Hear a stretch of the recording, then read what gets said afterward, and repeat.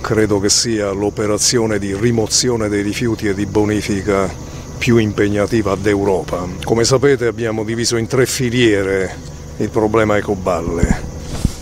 800.000 tonnellate da portare fuori dalla regione Campania con due gare che sono state espletate, una seconda filiera per la produzione di combustibile secondario solido per altre 2 milioni e 400 mila tonnellate e un recupero di materia dal riciclo per la terza filiera che ci consentirà di recuperare i due terzi del materiale accumulato. Oggi è a parte un altro dei cantieri per la rimozione delle ecoballe, Ponte Riccio, altre 125.000 tonnellate di ecoballe.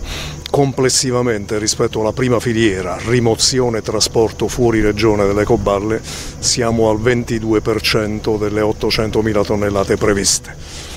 Diciamo che entro l'estate contrattualizzeremo Caivano e Giuliano, cioè eh, l'operazione di produzione di combustibile secondario e di eh, vagliatura ulteriore. Su Villa Literno che non si riesce ancora ad assegnare la gara insomma, il lotto? Stiamo verificando la possibilità, sempre con l'autorità anticorruzione, di estendere l'appalto alle imprese che si sono aggiudicate gli altri lotti. Non abbiamo in previsione nessun'altra gara.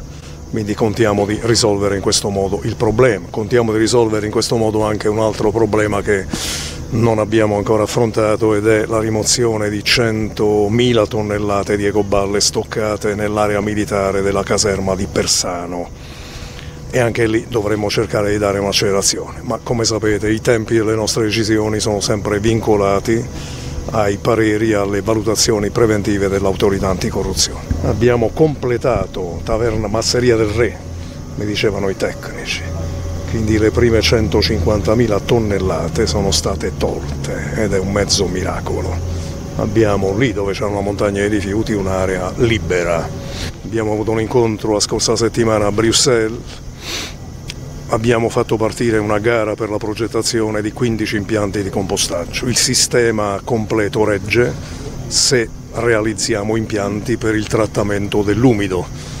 Se diciamo no ai termovalorizzatori, come abbiamo detto no, abbiamo eliminato la previsione di altri tre termovalorizzatori, è chiaro che poi dobbiamo dotarci di un'impiantistica seria per il trattamento dell'umido e quindi procederemo entro quest'estate alla progettazione di altri 15 impianti di compostaggio che risolveranno in maniera definitiva il problema del ciclo dei rifiuti nella regione Campania, uno degli obiettivi strutturali del programma del governo regionale.